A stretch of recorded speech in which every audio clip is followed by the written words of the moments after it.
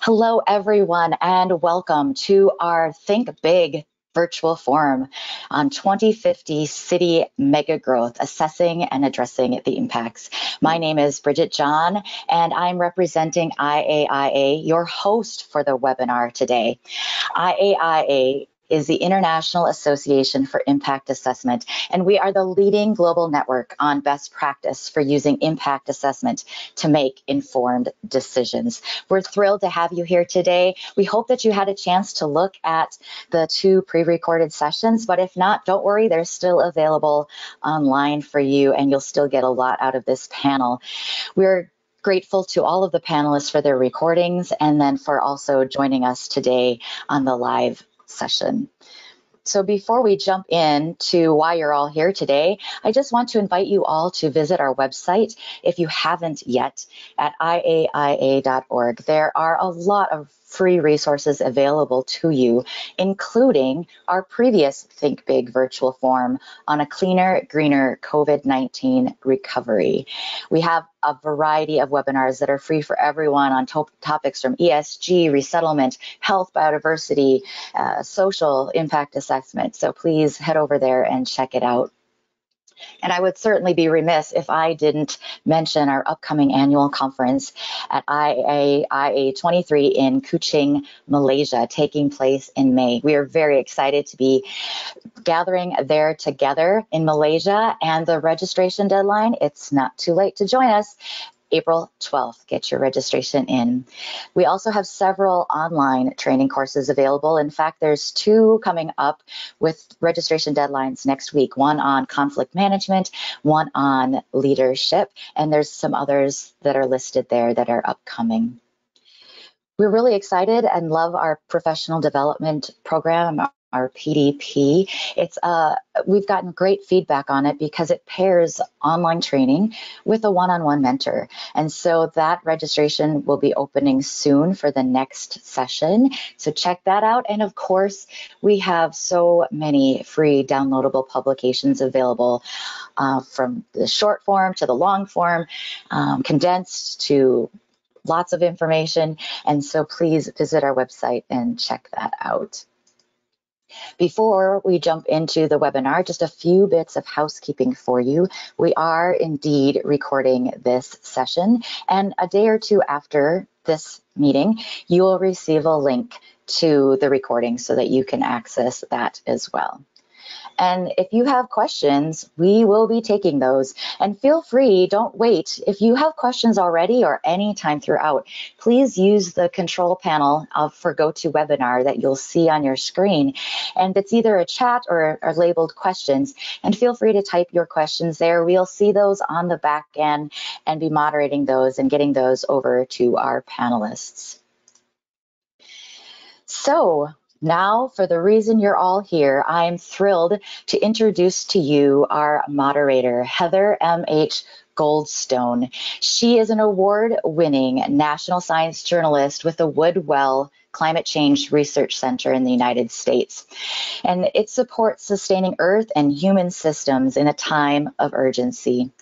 She founded and hosted Living Lab Radio on Boston Public Radio and also hosted Climatide, a U.S. national public radio blog exploring the impacts of climate change on coastal communities.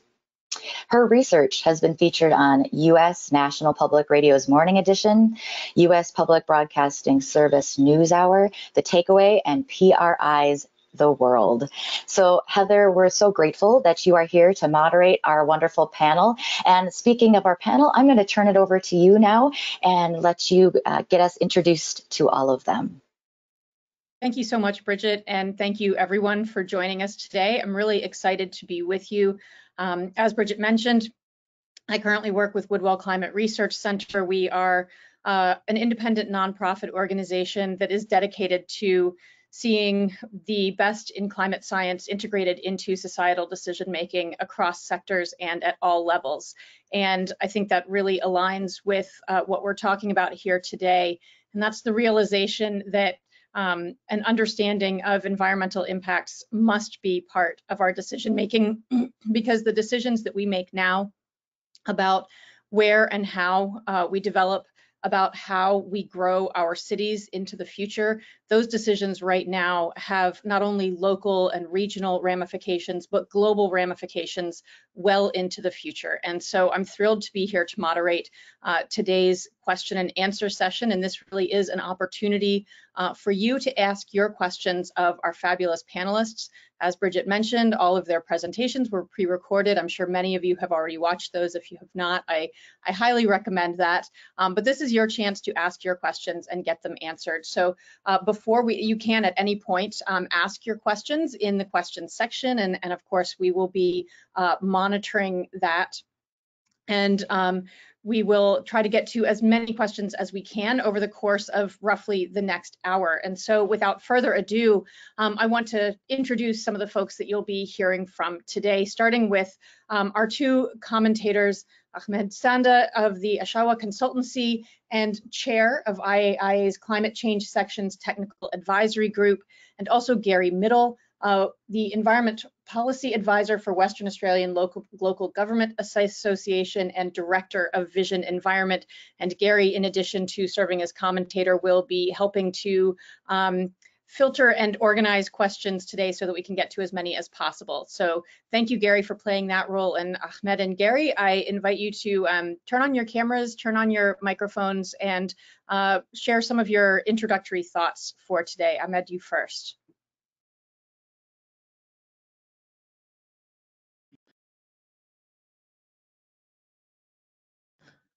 Hi, Heather. Thank you so much. Yeah, I'm glad to be here. I'm speaking to you from Abuja, Nigeria. I'm an impact assessment and uh, systems consultant, as she had said. I also co-chair the, uh, the climate change tech group on, that engages with decision makers and urban planners. As an impact assessment practitioner, I'm looking forward to learning and engaging with everybody here, actually more than anything, enriching the conversation and seeing the nexus between cities and, and, climate change. Thank you so much. Thanks, Ahmed. Hi, everyone. My name's uh, Gary Middle. I'm coming to you from west coast of Australia, from what our traditional owners call um, uh, or what our, um, our traditional owners uh, call the uh, um, uh, sorry, I'm a bit nervous. Sorry about that. Our um, our, our Nation. So I'm interested, my background is I'm an environmental planner.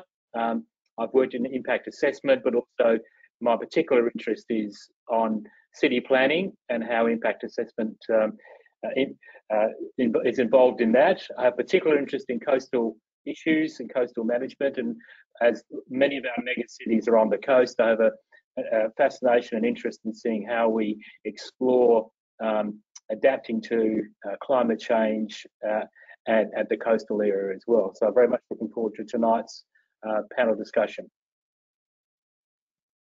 Great, thank you so much, Ahmed and Gary. And again, Gary, thank you for uh, your help also behind the scenes with uh, the questions today. And like I said, you can ask questions at any time, go ahead and start putting those into the questions uh, section, and we will get to those in just a few moments um, after we give each of our panelists um, a moment to introduce themselves. And today's panelists are Peter Nelson, project lead for planninggreenfutures.org, Wes Fisher, co-chair of IAIA's climate change section, Julian Baskin, the Cities Alliance Secretariat uh, Principal Urban Advisor, Yao Amoyaw-Osei with CEHRT Environmental Consulting Ghana and the former president of IAIA, and Brian E. Walmsley with South African Institute for Environmental Assessment.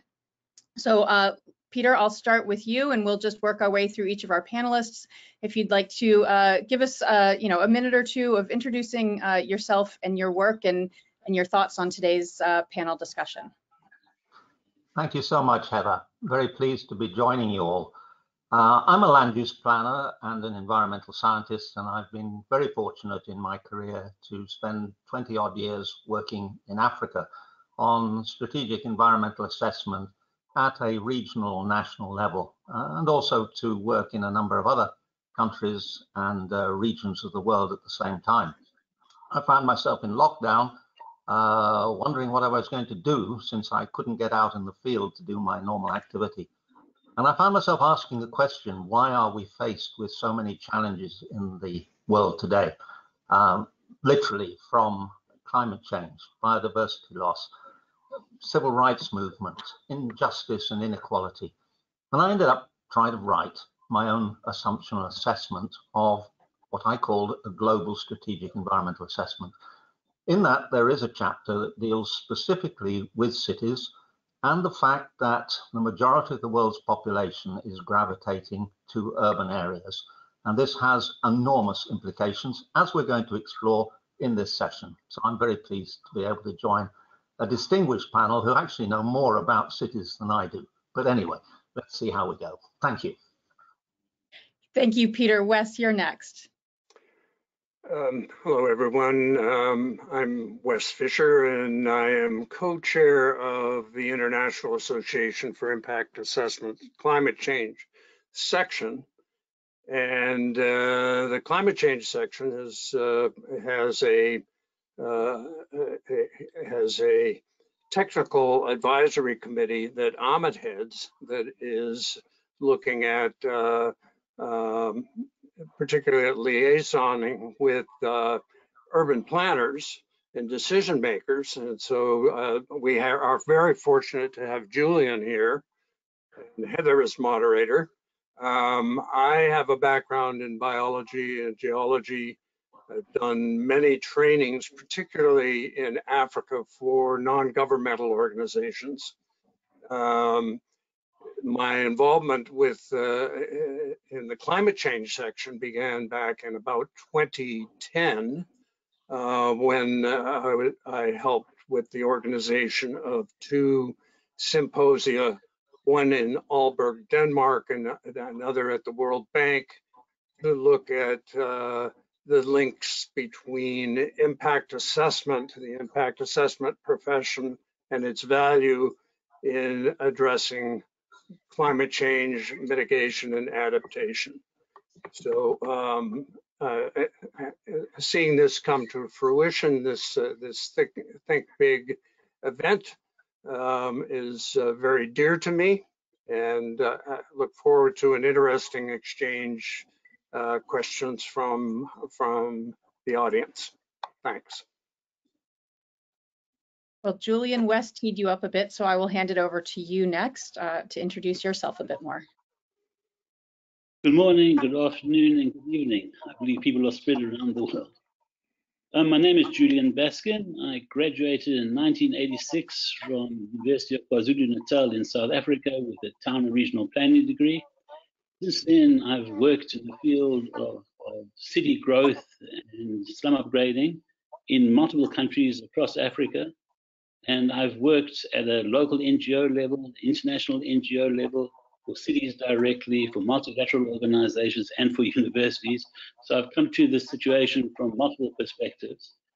Essentially, I'm committed to the idea that if we are going to manage the rapid growth of African cities, we need to deal with the number one crisis, and that is the capacity of the cities themselves to cope with urban growth. Thank you.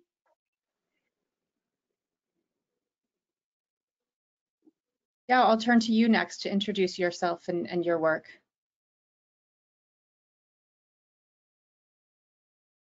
Yeah, I believe you're still muted. Sorry, sorry. There we sorry, go. thanks, Ella. Yes, yes. Yao Osei is my name from Ghana, and um, I started my uh, impact assessment life at the EPA Ghana, um, uh, rising to the position of director for the impact assessment at the EPA, and then changing course, um, leaving the EPA to set up my own consulting firm um, to practice. And um, so I have been practicing for a while now, for over 16 years or so, and uh, now almost um, um, uh, getting extinct. Um, my interest is now, my interest is now um, how to not only integrate climate change into impact assessment, uh, but more so um, how to make impact assessment more endearing to policy and decision makers.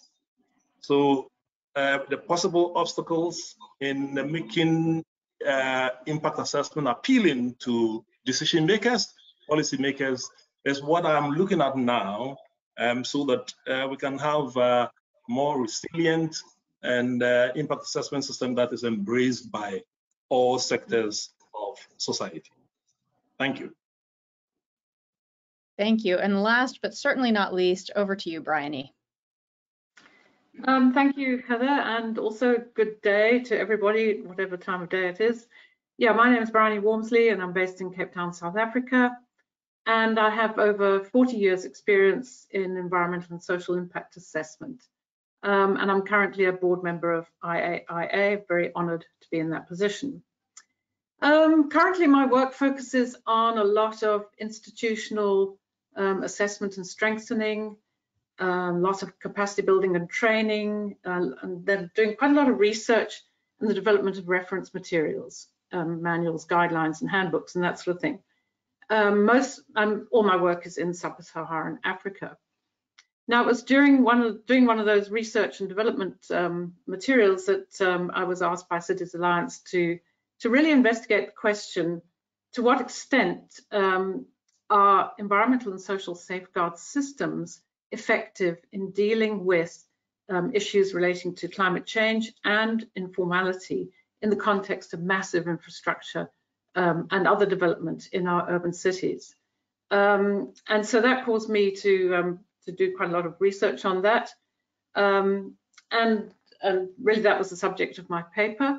And hopefully people have, have had a, a watch of that, um, the, my paper and everybody else's, so that we can have a really good discussion about how do we take um, our environmental and social safeguards forward so that they are actually effective in dealing with, with issues around climate change, informality, um, and massive development. Thank you very much. Well, thank you all uh, again for being here with us today, sharing your time and your expertise. Um, again, to our audience, you can uh, drop questions in the chat at any time. This this uh, hour, hour and a half really is for you to ask uh, your questions. But as moderator, I'm going to take moderator's privilege and ask a couple of my own questions first. And uh, I want to start with something that's really been in the news um, recently, and that is artificial intelligence, uh, machine learning. And, uh, you know, we've heard so much uh, thought and discussion about uh, what evolutions in this technology might mean for uh, writing, for learning, for a whole host of fields. And I'm curious to hear from each of you what role you might see AI playing in uh, this this field of impact assessment and figuring out the long-term and global uh, effects of our decisions. And maybe we'll actually just go in the reverse order that we did uh, introductions. And uh, I'll start with Bryony, and we'll work our way uh, back down the down the line. I would love to hear each of your thoughts on this.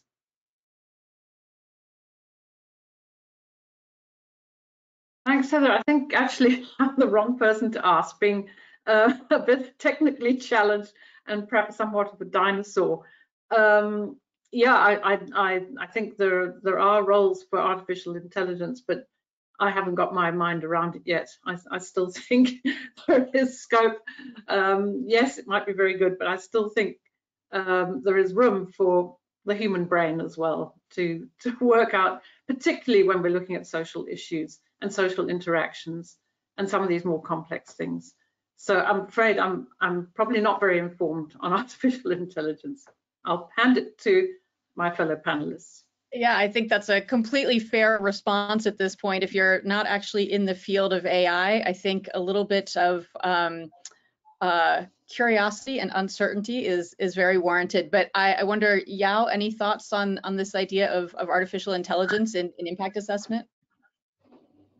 Yes, just like uh, Bryony. Um, uh, well, let me um, try to, you know, um, offer something. I think that I think uh, um, artificial intelligence um, can play a role, and uh, there is the potential, um, especially in predicting um, impacts and establishing future trends and helping to develop scenarios of what is likely to happen and uh, perhaps give a kind of uh, a lead into um, what choices, what options we decide uh, we decide on. Um, but of course, uh, artificial intelligence would also rely uh, a lot on the human ingenuities and ideas uh, that we, we feed into it. So, so in brief, um, I think artificial intelligence has a role, uh, but it will also depend on us, our ingenuities, and what we feed into any any such system uh, to help us uh, look into the the future.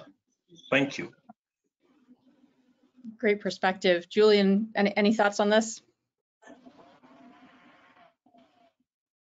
Yes, like the other two, this is my weakest topic, to be honest.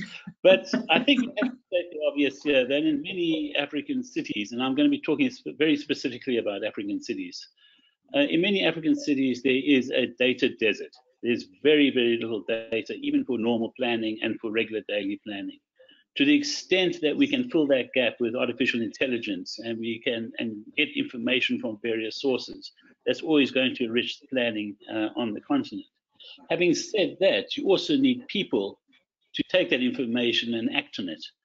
And, and just for, for example, if you go to Liberia, there are three regional, town regional planners in the entire country. Uh, you know, so you really have a, a question of artificial intelligence, but how do you use it effectively if you don't have the capacities institutionalized at the city level to make use of it?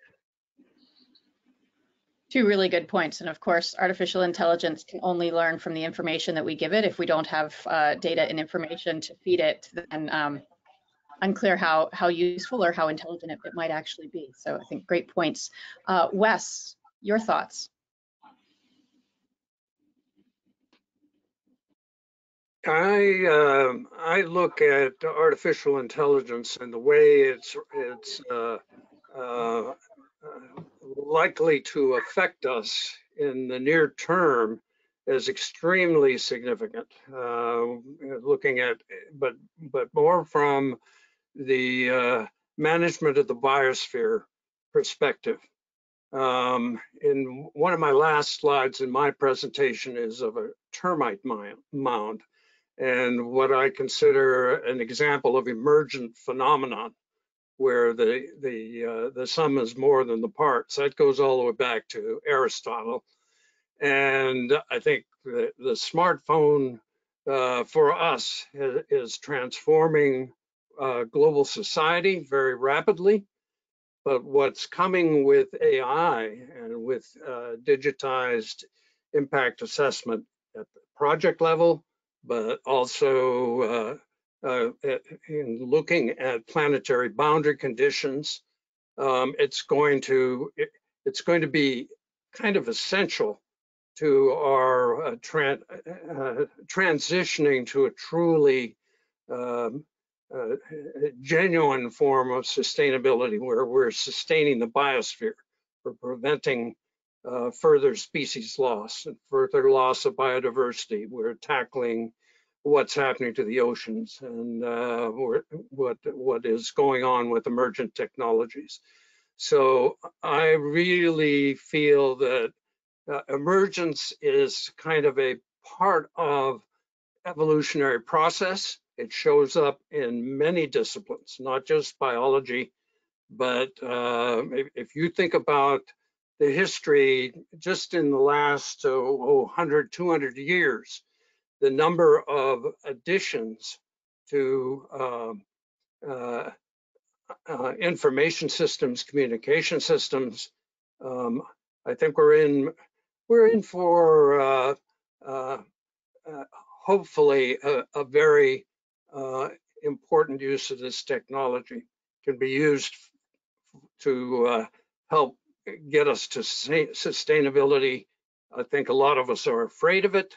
Um, but uh, like any new technology, um, it's a balance between just how much it can do for us uh, versus it's being used in ways that that uh, uh, uh make things more difficult for society. So that's that's my take on it. Thanks, Wes. And last but not least, over to you, Peter. Peter, you're muted.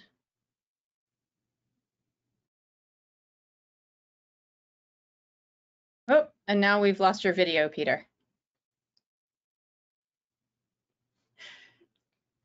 I know we all think that after three plus years of, of living in these virtual spaces, it, it should be uh, smooth and seamless, but it, it never seems to, to be that way.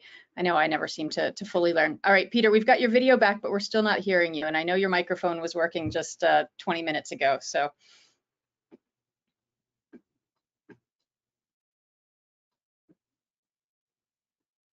Nope, still not hearing you.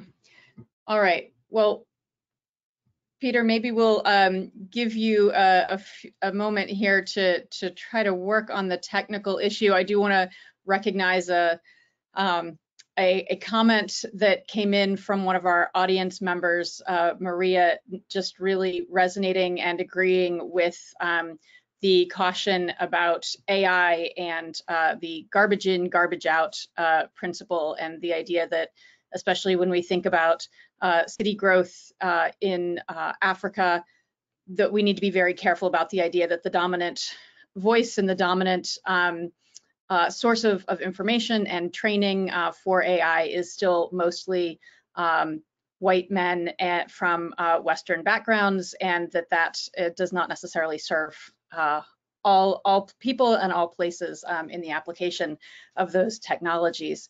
Peter, I don't know, have you have, have you been able to, to unmute?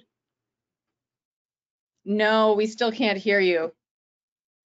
So we've got uh, a couple of questions showing up in the question area. Welcome you to keep answer, uh, putting your your questions in there for our panelists. Um, in the meantime, I have another question, and Peter will will try to hear from you on on both points here if we can figure out your microphone. Um, I guess we'll we'll stick maybe a little bit with this this tech theme. Um, you know, Elon Musk has said that population collapse due to low birth rates is a much bigger risk to civilization than global warming. Um, that was uh, less than a year ago than he said that, and uh, I'm curious, you know, as a little provocation, how that strikes you, and maybe as a broader question, what do you see as the greatest challenges that we face as our cities grow, both in terms of um, physical, biological earth processes, and also in terms of social and political, the decision making and, and human processes that are, are clearly at least 50% of the equation for the future of, of civilization. Um, Peter, any chance that that uh, the microphone is is working? I don't have a lot of other suggestions uh, for you to try. Um,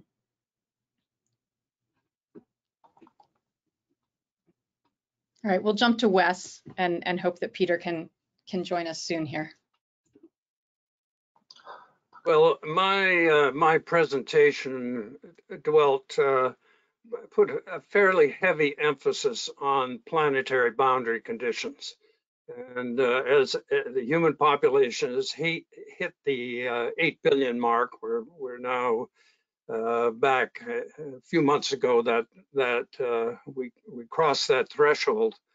Uh, the, the, the, the various planetary boundary conditions we we already face with with uh, both climate change and and and uh, changes to the uh, nitrogen phosphorus uh, cycle due to our agricultural practices, um, biodiversity loss, species loss. That um, we have we have these challenges ahead of us and it's going to be uh, it's going to be a, a, not an easy transition to bring our to bring the population down. The birth rates are leveling out. It looks like um, like uh, the eight billion mark. Hopefully, we won't go too much higher than that. But even so, um, our our effects, uh, sort of our global fit footprint, is one where we are uh, we're in fact using uh, within, within uh, uh, each each year we exceed the carrying capacity um, for um, maintaining maintaining the planet in a sustainable way. So um, I think what Elon is saying is uh, we're going to have um, significant labor shortages And um, globally, we're going to have to come to deal with that with an aging population. And there, there are, in fact, in uh, Nature magazine, uh, there's been a, a, a, really good paper that uh, looks at, um, this was back in uh, January of this year in Nature, the January 24th issue, uh, looks at this, this question of uh, uh, of, of, what's what's happening. Um, oh, I, I, think I've got the wrong the wrong citation. Um, it is in fact uh, something that came out in Nature, but but not in that time frame on the um, uh, what's happening with aging populations, and um, probably the the uh, uh, an example is a is a paper jointly done many many Japanese uh, population specialists as well as folks from uh, Sweden been looking at this at the question of how to deal with um, with this uh, the the the rapid growth in how much of the world is going to be in the uh, upper age category, 65 and above. And, and so it's going to be, require quite a bit of thought to deal with that. Um, and I think Japan, because of what's happening to the age, the population there, uh, is is focusing on this very seriously and looking at what what is termed a depopulation dividend. Um, and and there's also interesting papers written about the concept of the depopulation dividend for the Asia Pacific. So um, I, I, think Elon has, uh, you know, he's raising an important point. But if we're going to, uh, if we're going to have uh, sustain the biosphere, we're in a, we're in, we're getting into a pretty desperate situation um, and and we're going to have to come to grips with this. Right, Peter. It sounds like you think uh, maybe you're you're back on and able to join us. Can we hear you? I hope so. It depends. Oh, fabulous! We can hear you. Technical problem in an unusual way with the microphone. Um, I'd, I'd like to respond first to the point you've now raised and then come back to the previous one if I may. Um, my first comment would be, yes, we are seeing declining population in industrialized parts of the world, but we are seeing very rapid population rise, particularly in Africa. The reality is that we are going to see 2 billion additional mouths to feed on this planet by 2100, and almost all of them will be in Africa. We're going to see the largest expansion in urban areas across Africa it stands out in all of the statistics quite remarkably. And the globe is simply not in a position to deal with the changes that are coming, partly because of climate change, which is going to affect cities around the world, partly because of biodiversity loss, but far more significantly because of issues to do with food supply, water supply, energy supply to those expanding cities. And frankly, the way that we are tackling the issue at the moment just doesn't begin to, to breach the problems we face. So I'm sorry, on a lot of things I disagree with Elon Musk. And I also disagree with him in relation to artificial intelligence. My strategic assessment basically has a hypothesis. It says that the human species has demonstrated an ability to develop technological solutions to all sorts of critical issues. Our, our advances in medical science, in space exploration are phenomenal, but our basic natural intelligence is totally lacking. As a species, I cannot understand why after 400,000 years of evolution, we are unable to get round a table and prevent wars taking place. At the moment, there are 2 billion people on the planet who are involved in some form of conflict. That's out of 8 billion. That's 25%, a quarter of the world's population are not comfortable, are not secure, and in many cases, they're being killed. How can we talk about artificial intelligence solving those sort of problems if we can't actually come together and find solutions. So yeah, I've got some pretty strong views on AI. I agree with what Wes has said. I agree that if we can use computers, if we can use data collection, if we can really pull it together to inform our environmental impact assessment studies, it will be very valuable. But if we leave it to machines to answer the question, well, I've said enough. Thanks. No, thank you, Peter, for that. Um, really some some profound insights there. Um, Bryony, I saw you you nodding and and seeming to to kind of respond to what Peter was saying. So um, love to give you, a chance to chime in here and whether that's uh, more on the AI or, or around this idea of kind of population. Is that the biggest challenge or what is the biggest challenge um, that we face moving forward?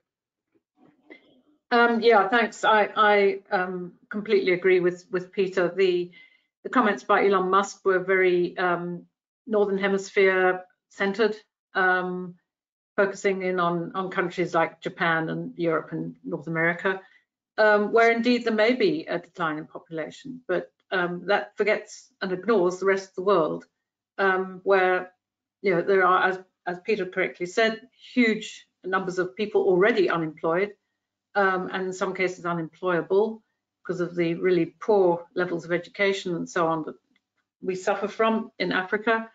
Um, and they're not where the where the jobs are really wanted, and, and this is a real a real problem. Um, so I, I I'm just was really agreeing with Peter. I can't say it any better than he did. That um, I'm also I don't agree with that statement, and I also like to echo again uh, Wes's statement about planetary boundaries uh, whether we're talking about people or we're talking a number of cattle on a hectare of land, you know, the carrying capacity, um, once it's succeeded, um, there is this total degradation of the environment, and we're fast approaching that point where there are too many people on too small a planet. Thanks. Okay, thank you. Yao, I'm curious what your thoughts on this uh, population question are.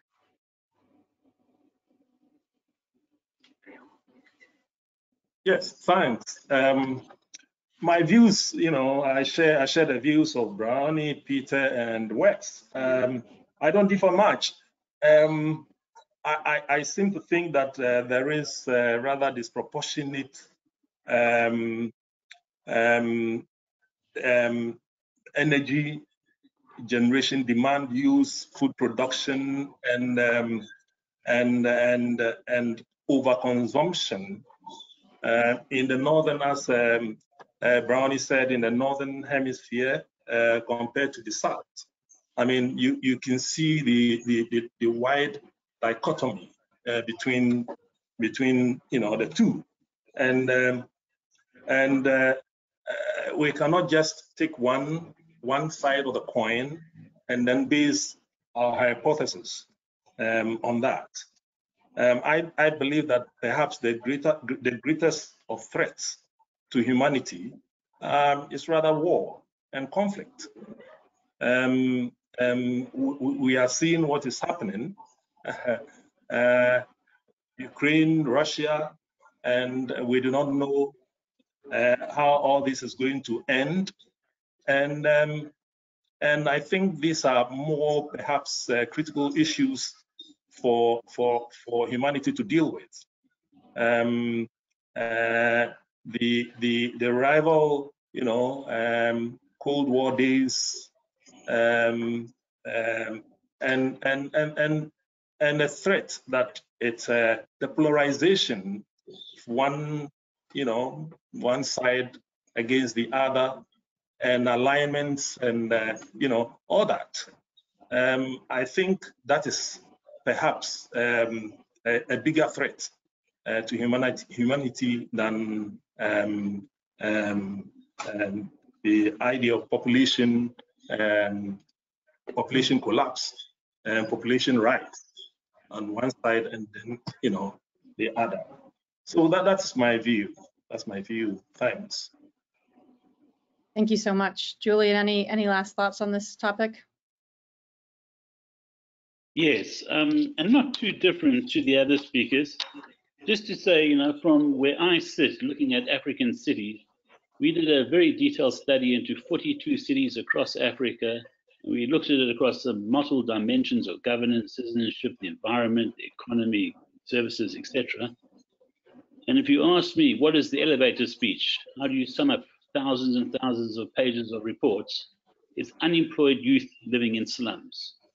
And you know, can you imagine what it means to the future um, of this planet if you if the biggest issue is unemployment you, and there's no relief because you're living in slums and no water, no electricity, uh, and what does it mean for your future? And if youth don't have a sense of a future, I hardly see they're going to have a sense of climate change and other international priorities. So to me, the biggest problem facing the world today is unemployed youth. Hmm. All right. Well, okay, from from one big grand challenge to another, um, Maria has asked, what about water and sanitation in uh, the widest sense? How are cities and megacities um, to to cope and supply these fundamental uh, services? And and I'll maybe leave this one open um, to to whomever would would like to to jump in and, and take that one on. Well, Heather, if I may just make one observation. Um, when I set out to try and do my analysis of global issues, I found that almost everything I needed had already been written by somebody. And when I realized that we were going to be talking in this panel today, and knowing that I have a lot of gaps in my own knowledge, I thought, well, I'll, I'll just, I'll do a bit of surfing and the thing that has struck me is how many organizations worldwide are looking at this challenge of megacities. Each one is looking from its own perspective. Some are looking at it from health, some are looking at it from food supply, some are looking at energy, some are looking at water. And there's a great deal of analysis out there that's already been done.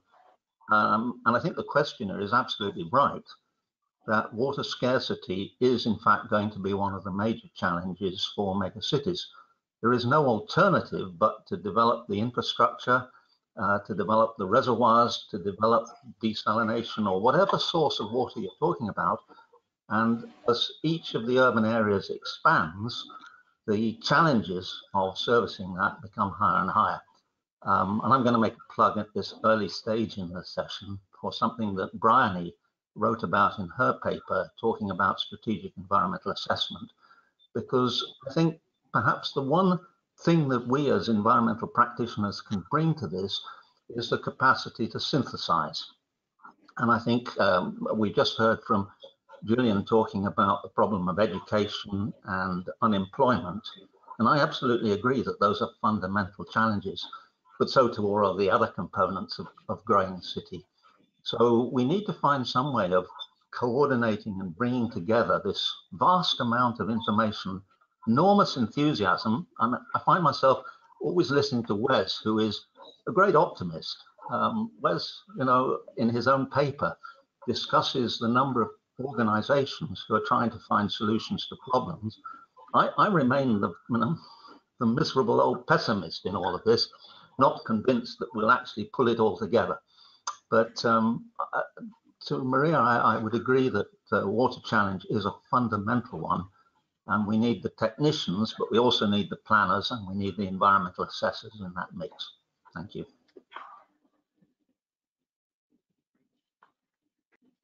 Wes, yes, and then if anyone else wants to jump in on the water question. Um, I wanted to return to what Julian was saying.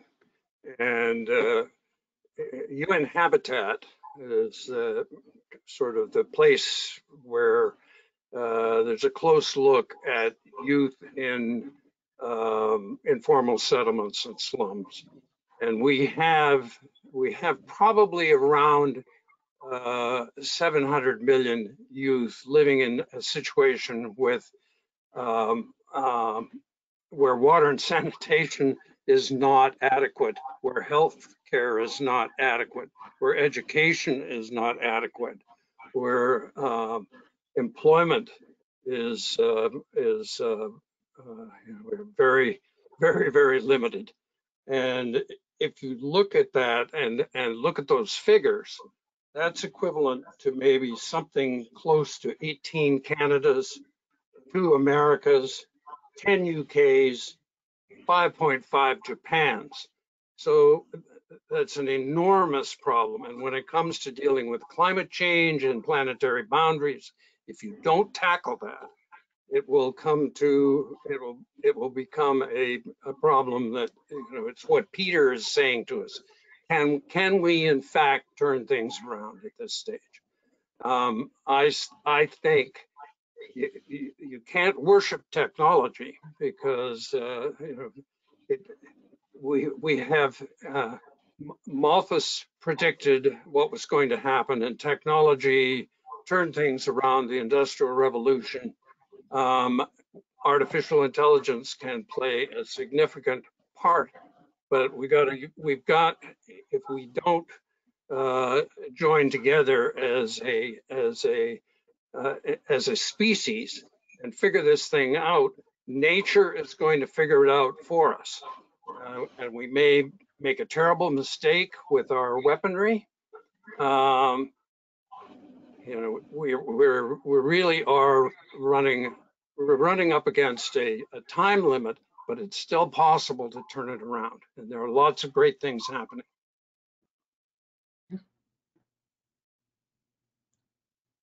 Yeah. Yes, yes, to just add um, a little to this. Um, I think um, water scarcity, water and sanitation are really uh, major challenges that we we have, especially in in in our countries uh, in Africa. Ghana, for instance, um, we have these um, um, flood situations.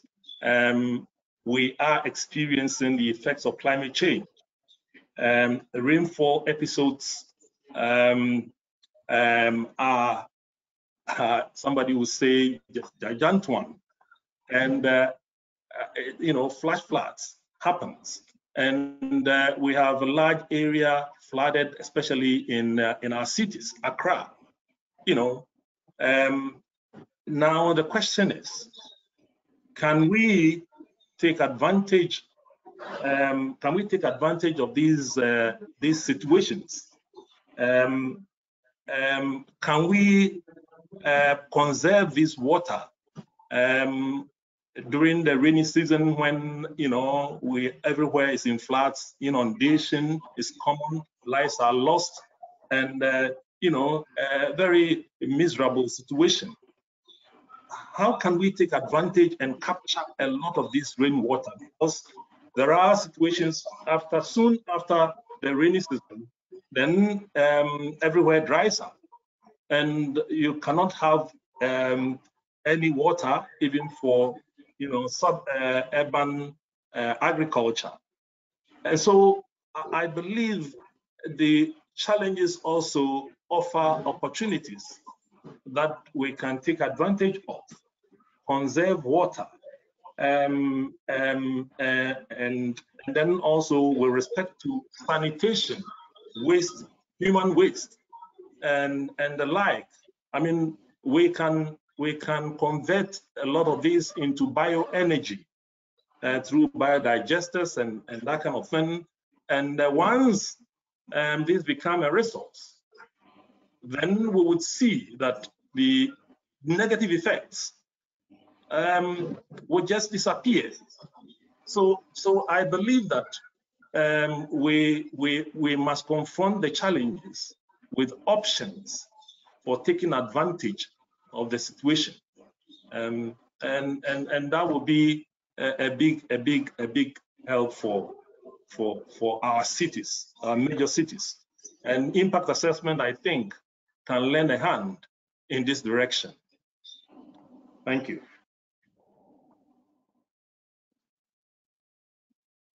Julian or Bryony, anything you'd like to uh, to add? I will note that we um, yeah our time is is quickly ticking away. Uh, time flies when you're having fun. So.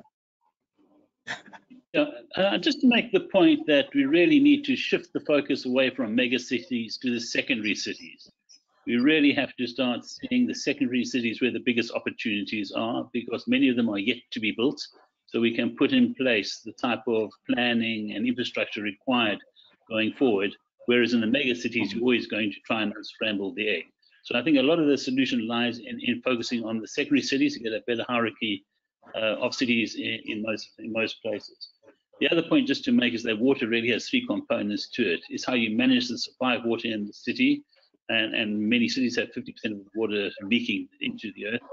The second, uh, the second aspect, of course, is flooding. We need to protect the natural systems to ensure that flooding doesn't happen in the same way. But the third, and perhaps the most dangerous of all, is food security because of drought in the hinterlands of these cities. Uh, because we know that once there's a drought in the rural areas, immediately famine starts to happen with insecurity in those cities. So water is the critical thing we need to, to unblock all around.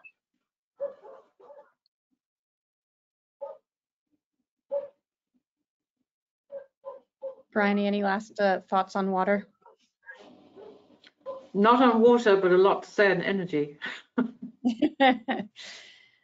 I maybe I'll, I'll go to a, another question from um, an audience member from Peter who um, says he works a lot on local climate action uh, where he lives in Ottawa.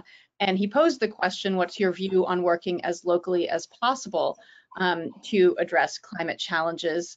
Uh, that, of course, is coming from uh, a perspective, a location where, you know, I think in the um, in the northern hemisphere, there's there's been this idea of, of a lot of local or individual action, which assumes a lot of local and individual resources and capacity.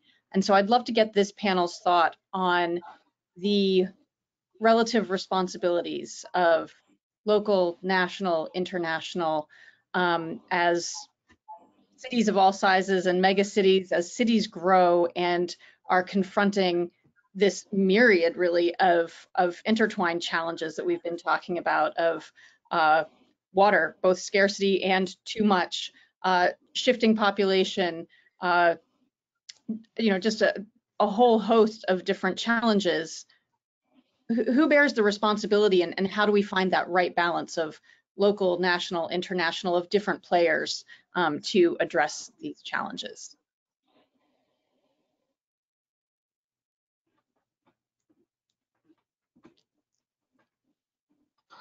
I don't, I don't want to hug or hog the, uh, the, the, sort of introduction to these issues, but I attended um, the 30th birthday party of a company that I worked with who focused very much on issues within the UK.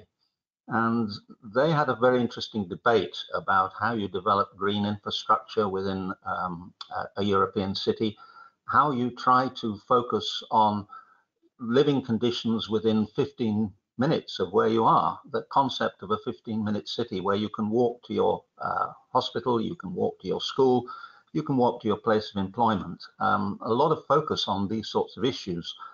And it struck me listening to that, that if I was in Kinshasa, where the population spends nearly all day walking, looking for a job, um, that's a very different set of environmental conditions. So I think if you look across the world, we're, we're all dealing with the same problem, but we've all focused in at different levels.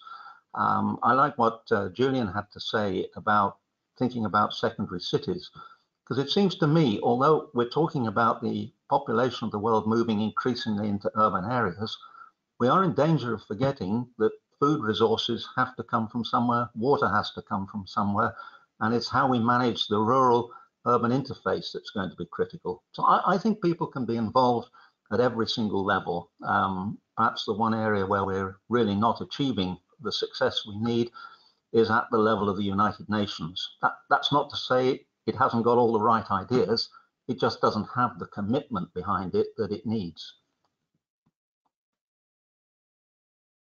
Sorry, can I say something about this? You know, I think there's far more climate action happening at a very local level than one one would believe, because one thinks that the climate agenda is driven from the top down. In point of fact, climate action is driven by necessity. People realize that their cities are flooding, they realize they're losing their economies, and they have to do something. So in, in, in, just about every slum that I work in, or every informal settlement I work in, people are talking about what they need to do about the drainages, how they're going to have to move people off the river banks to make sure that the river can play a better role in taking the, the excess water away. So my answer to you is that localized action is happening. What's not happening is the agreements needed to really give it support and to build on that action and to really build it up to scale from the international policy perspective.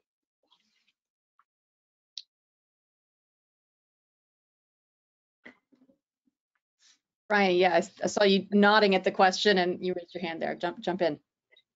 Yeah, I agree entirely with Julian. Um, yeah, I've been, I do a lot of work in rural areas in Africa, and you don't have to tell people about climate change. I mean, they are absolutely, utterly, and completely aware of it because it's happening to their day-to-day -day lives, and they are having to make adaptations as they go. I think people who who don't know about climate change are those, and pretty much as Julian said, at the, the sort of policy and planning level, who who still don't get it. Um, I'm still seeing engineering designs based on the last 50, 100 years worth of data without any conception of what it's like, what will it be like going forward based on the new normal.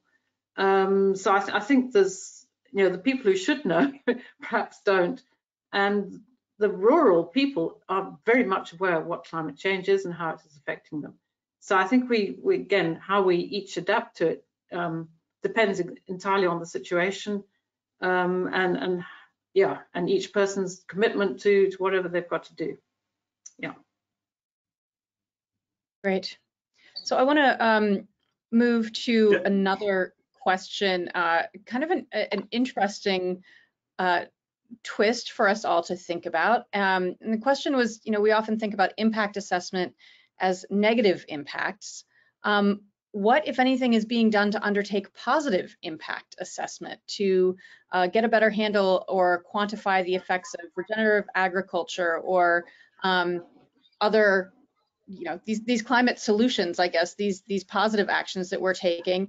How do we incorporate that into an impact assessment framework? Bryony, go ahead. Um, that, yeah, very good question. We do tend to focus on the negative, um, but in all our laws say that we should be looking at the positive and the negative effects of a development.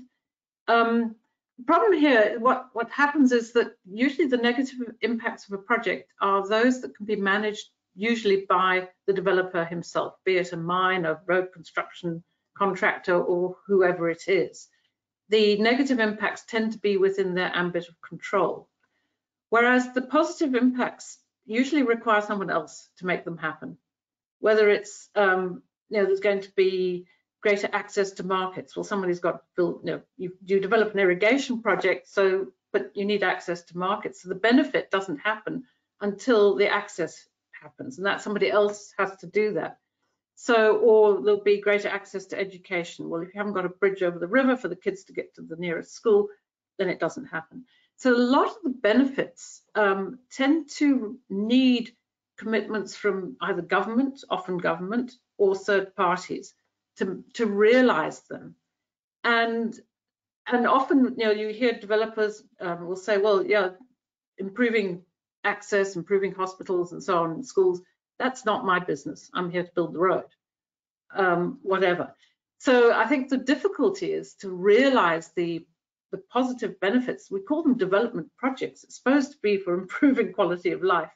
And often the benefits are not felt by, by the, those people who are most affected. The benefits are experienced by somebody perhaps far away. Um, so the, the people you know, they, people feel the negative impacts and they don't get the benefits either, are the people who are most directly affected. So I think there's a problem there in, in the whole rollout and implementation of environmental management plans where the the the person or the people responsible for making sure that benefits are enhanced that they know how to do it and have the money to do it and that usually comes back down to things like political will and other other agendas yeah. Yes, just to just to add to uh, Bryony's uh, points. Um, sometimes um, you have projects that are are mitigating projects themselves. The projects are meant to solve problems. See, and um, even there, even there, though are they, uh, they they're supposed to be mitigation actions, um, on the whole as a project, uh, they could still have the uh, could still have the negative effects. Okay, so um, when we come across such a project, we still have to look at it uh, from the impact assessment perspective and look at how to, you know, even enhance, enhance the mitigation options that the project is, is meant to achieve, and also to identify the negative effects that could inadvertently arise. Thank you.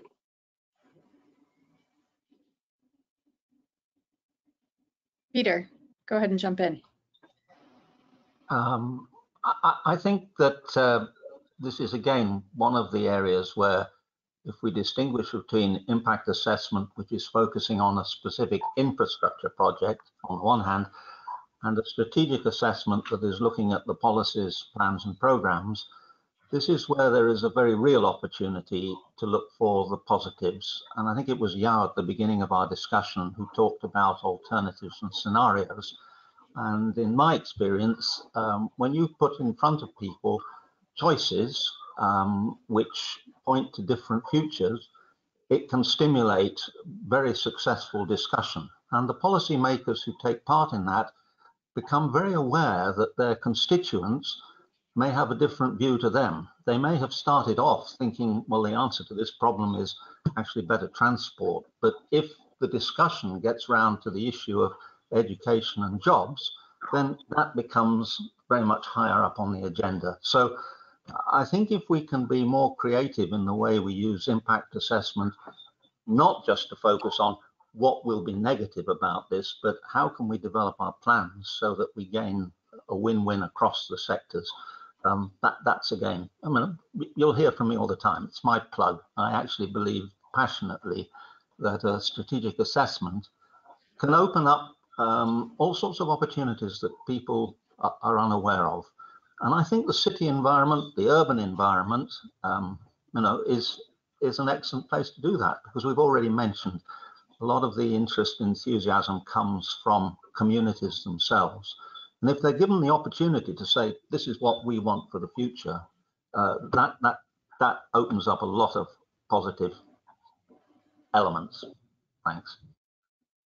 A couple of things that I want to say about uh, positive impacts.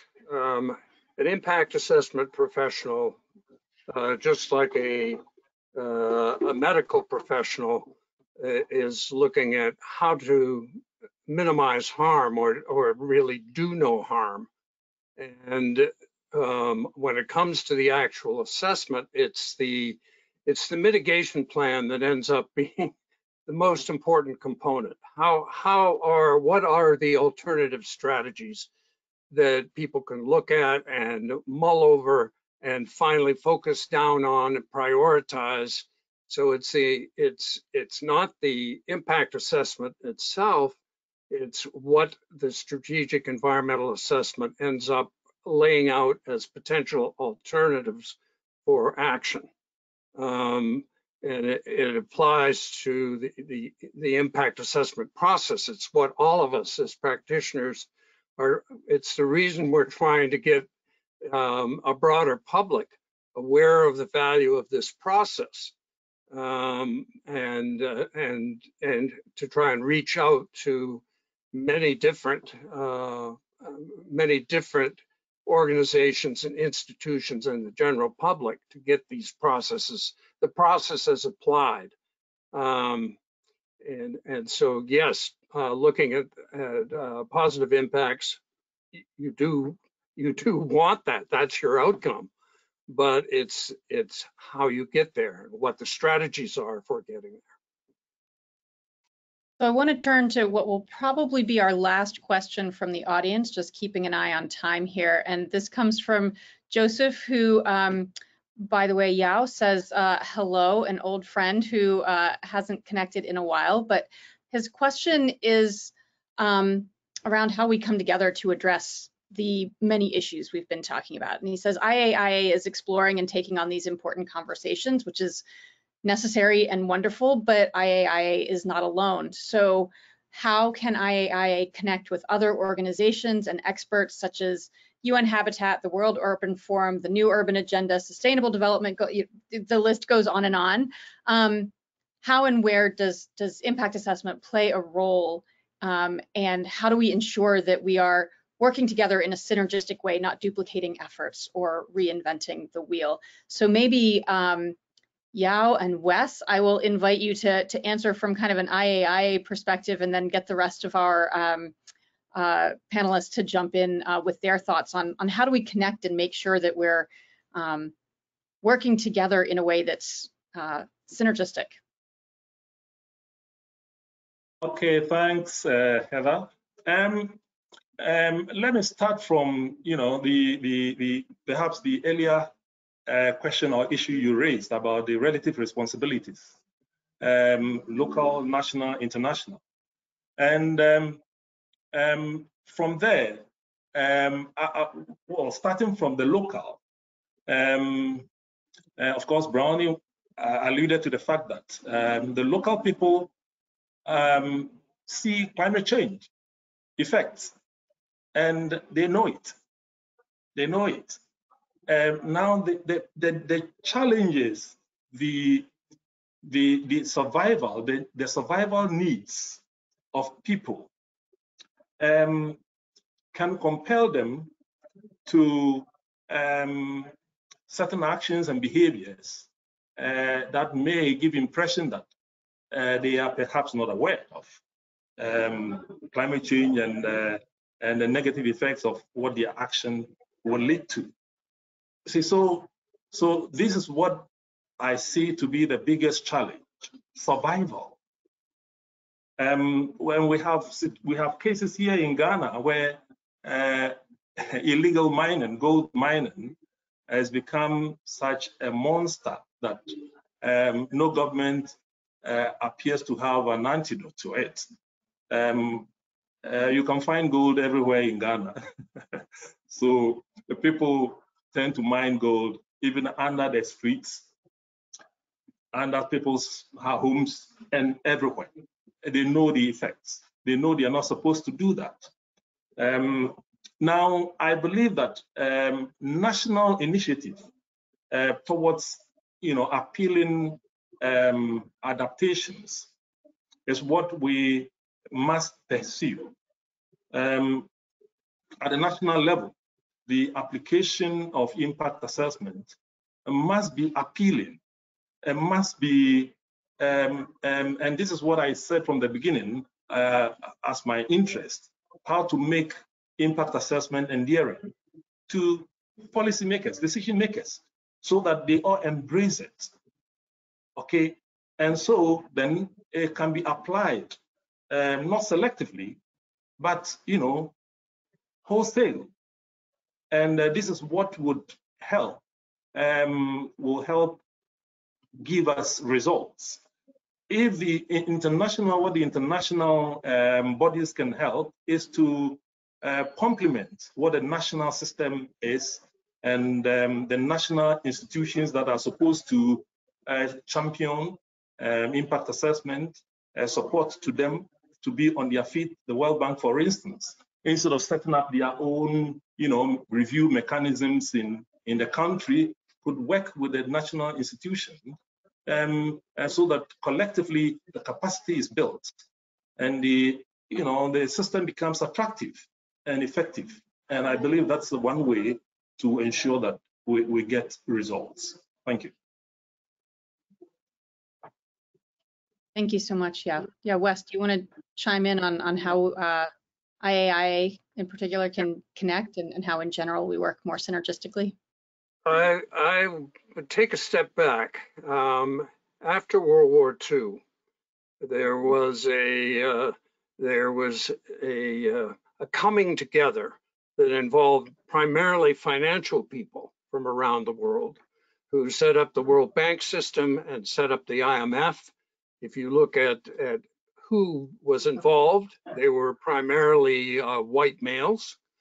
Um, what I think we are facing is a situation where we have to have either major reform in the current institutions, the IMF and the World Bank, or we need a we need an initiative on that scale to address the kinds of things Julian's talking about. If you have 700 million unemployed youth you need uh, some sort of institutional change at a global level. And, and, and Peter's talked about, the, you know, what can the UN play, truly play that role? So far, we, we don't see the UN uh, able to function effectively to deal with that question.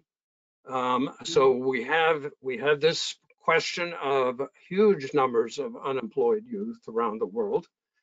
Um, and we have a biosphere that where we we we're not looking at planetary boundary conditions with the kind of scientific rigor, rigor we knew to, we need to have. It's kind of piecemeal. It's getting it it is amazing what's happening. Our ability to track now what's happening to species loss and biodiversity. But we don't have an institution that does this in a way that fits into strong sustainability criteria.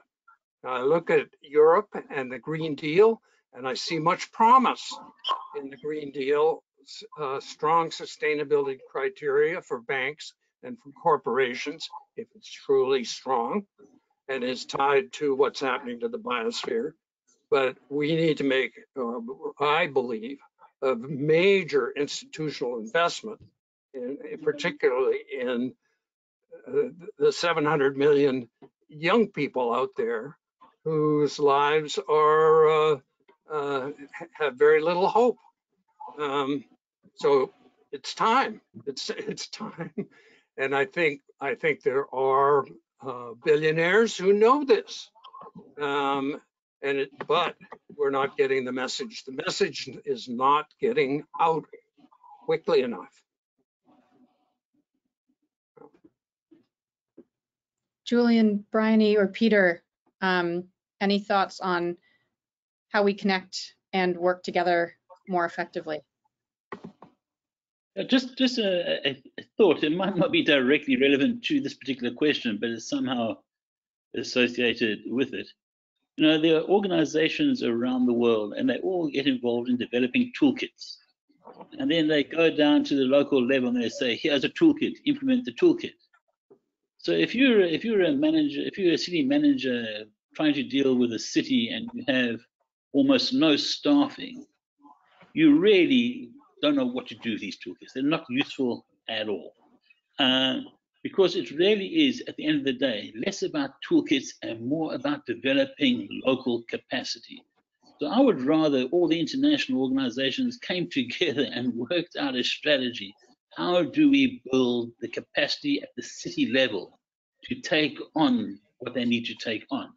And just to give you a sense of how, how, how bad the situation is, is that not only have people got to deal with youth and unemployment and climate change and every other issue under the sun, but they literally have 75% too few people to do the work that is required.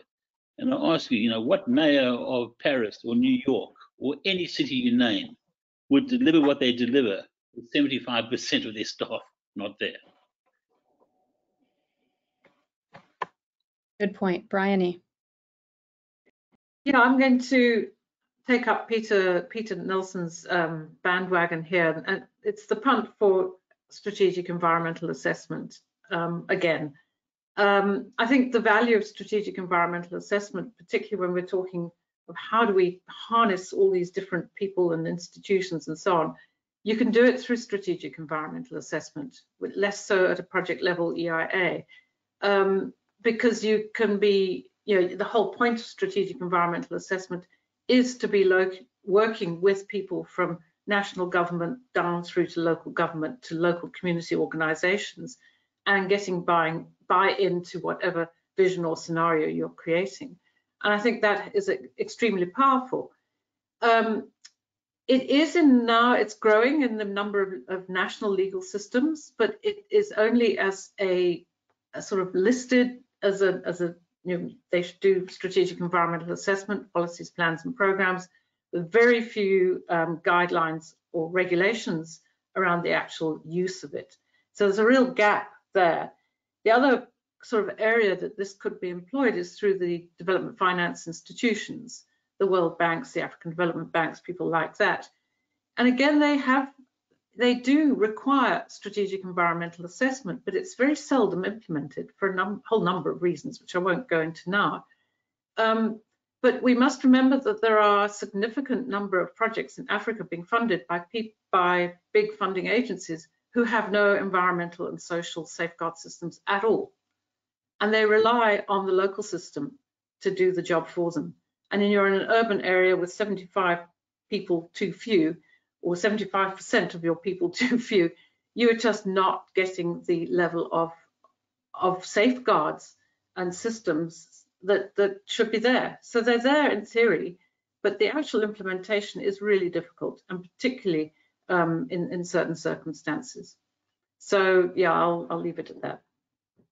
And I, I want to um, just say we're we're uh, rapidly uh, closing in on the end of our time together. I want to make sure that we do leave time for Ahmed's uh, closing comments. And so I'm going to ask each of uh, of you to to think about just one minute, one closing thought that you'd like to leave everyone with. What is the the takeaway or call to action that, that you hope everyone comes away from this session with? And um, I'll give every, uh, each of our panelists just a second to think about that. And in the meantime, invite um, everyone in the audience. Maybe you can use the uh, the question uh, panel at this point. Actually, if you have thoughts on how IAIA can better connect and um, how we can work together more effectively um, to address the challenges of city growth, then uh, drop those ideas in the question sections. We would love to hear your thoughts on that question as well.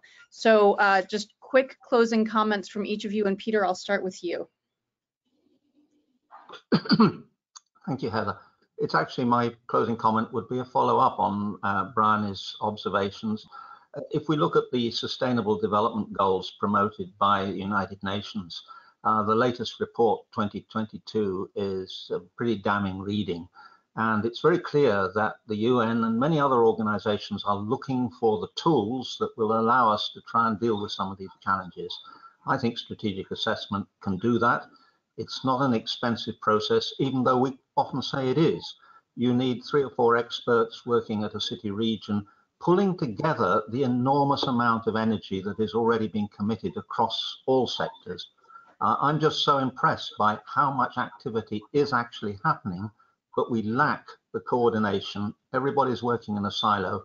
Put it into a strategic assessment, point the way forward, and IAA has an absolute key role to play. Thank you. Thank you so much. Yao, your your final thoughts for our group today. Yes, um, um, just to follow up from uh, Peter, um, I, I, believe that the every city, every city, um, if it's old, existing, uh, must be subject to um, some kind of environmental and social audit and must have an environmental management system um, that would help manage um, the city. If it's new, then of course it has to go through the motions, as we know. And um, and it's very important for the countries that have the, the environmental assessment system stand alone under the EPA. Ghana has a unique challenge. And the challenge is that some of the sister institutions think that it is EPA's law, and therefore they are not obliged to comply. And therefore, my suggestion is that the Environmental Assessment Environmental Protection Act should be a national act a national act that obliges every institution to comply with, rather than what we currently have. It's a big challenge that we have, making not making things work as expected. Thank you. Thank you. Julian, I'll turn to you next.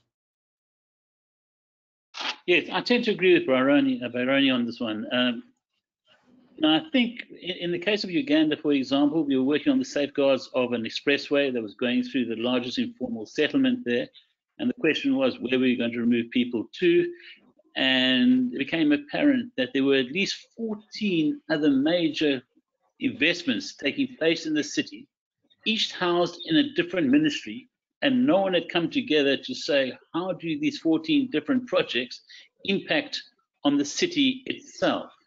And so it becomes obvious then that we need to have a unifying process, one process which used to be the city plan, but that becomes a city organ, a city thing. This needs to be one that incorporates all the infrastructure investments that will take place to make sure they're working together to restructure the city. Because every project planned individually and assessed individually doesn't add up to the potential of restructuring the city if it's done properly and strategically, as it could be done if a proper SEA was done. Just a closing comment. Thanks. Thanks so much, Bryony, and then we'll go over to Wes for the, the final. Yeah, thanks. Um, my view, we've we've kind of got the laws; they're all there, um, and policies, but we're just totally lacking implementation. I think that's for me the biggest problem. And when you do a root cause of that, it, it usually comes down to political will um, as the as the root cause for us not doing it. Um, and that's really the bottom bottom line. So, you know, we, we can talk amongst ourselves and everything else, but unless this message is getting through to the politicians, um, particularly around the whole fact of sustainability, of the threats of climate change, um, we, we're just not getting anywhere very fast. So from my from my perspective, it's all down to getting somehow getting that message more ingrained into our politicians to be thinking longer than their five-term term election periods and thinking long term to try and get some proper proper perspective on where we're going. Thank you. Thank you so much, Wes. Um, I would come back to uh, sort of what Julian is saying. Um, let's say that, in fact, we can mobilize uh, globally with more effective mechanisms than we currently have uh, through UN institutions. Let's say we can do that. Implementation at the local level then becomes essential. Suppose you have the funding. Suppose you have the funding. Um, and you're trying to deal with with uh, what's happening with with uh, 700 million youth in uh, in in these informal settlements and slum conditions, and you're trying to deal with uh, planetary boundary conditions. Um, you still the money is not enough. It's it's how you how you implement the this locally. Um, for me, uh, st strategic environmental assessment is the route to looking at long-term cumulative effects. I look at the European Union and the Green Deal as a potential model for us globally. Um, if you can have strong sustainability, true strong sustainability criteria that are linked to the biosphere and biosphere conditions that is a huge investment. Um, if we don't do it, nature is going to correct things. Nature will step in and correct the situation um, or some terrible mistake on the part of our species. So that um, I remain an optimist because I see what's happening with technology. Um, uh, if anybody's interested in quantum computing, go, to Google's site and type in Google Santa Barbara, and that will introduce you to sort of where Google's heading. But we've just seen Bing come on the scene, Microsoft Bing come on the scene with something uh, very interesting. It, it's it's both very exciting and also worrisome. So um, anyway, that I, enough. Well, I want to say thank you uh, to each of you for sharing your time and expertise. It's um, been wonderful uh, getting to know your work through your presentations and through the, the question and answer session today. So I really appreciate that. I want to thank our audience today for your fabulous questions. And I know we didn't get through all of them um, uh, with uh, you know, it, an hour and a half seems like a long time until you're in it and you have all of these wonderful questions and it flies right by. But I do want to hand it over um, to our final speaker of the day, uh, to Ahmed Sanda for his closing thoughts. Um, and, uh, and thank you all again.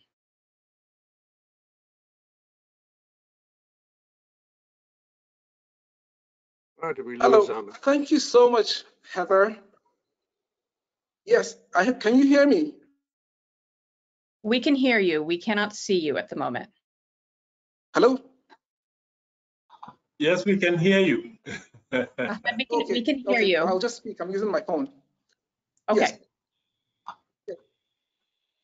Yeah, thank you, thank you so much for the fantastic moderation. Um, topic, topically speaking, I would like to say that each and every point made by all the experts, we can see that the, tum- the sum total actually plays out to why the Earth why the Earth overshoot report this year says that we would we would have depleted all of the renewable resources that the Earth ability is able to regenerate by July. Right? And uh, doing this, the gaps in all these can be filled up by AI. Specifically, if you look at the country by country report, where if you live in Qatar, you would have depleted the renewable resources by February 10th, and if you live in Jamaica, it would be December 20th. In the country where I come from, which is Nigeria, there is no data, and there's about 43 other countries with no data. This, this, these are gaps where AI can actually help fill up. So thank you so much for, for the fascinating discussions, and the discussions were quite enriching, and I'm, and I'm hoping that we'll be able to take things back with us, and that if we call each and every one of you back, you come back here and, and enrich our understanding about these um, topics. Thank you so much. And on behalf of AIA, IAIA, the board, the new CEO, the president and, C and the CEO, I say thank you again. Ahmed out. Thank you, Ahmed, and thank you everyone for your presentations. Uh, let me just uh, bring the, that list back so that you have it and you can see the names of all of our presenters today. Um, we are so pleased to have had you um, share your time and expertise with us. Now, we do want to invite you all to uh, check out the next section of this Think Big theme form. And we will be having more pre-recorded sessions and another live Q&A panel coming out in July. So stay tuned. More is coming on this great topic. We also have some more webinars coming this uh, the second half of this year on human rights and digital impact assessment, food security assessment, and more. We work in, in the final stages of getting those uh, ready to be launched and, and getting those timings ready, uh, working with our moderators. So lots of great content ahead. So with that, I do want to thank you again and echo Heather's comments. Thank you for all of you to participate and again to Heather and to our panelists and Ahmed and Gary for working um, uh, behind the scenes as well. In a day or two, you will receive a link to the recording that you can of this session and so you can rewatch.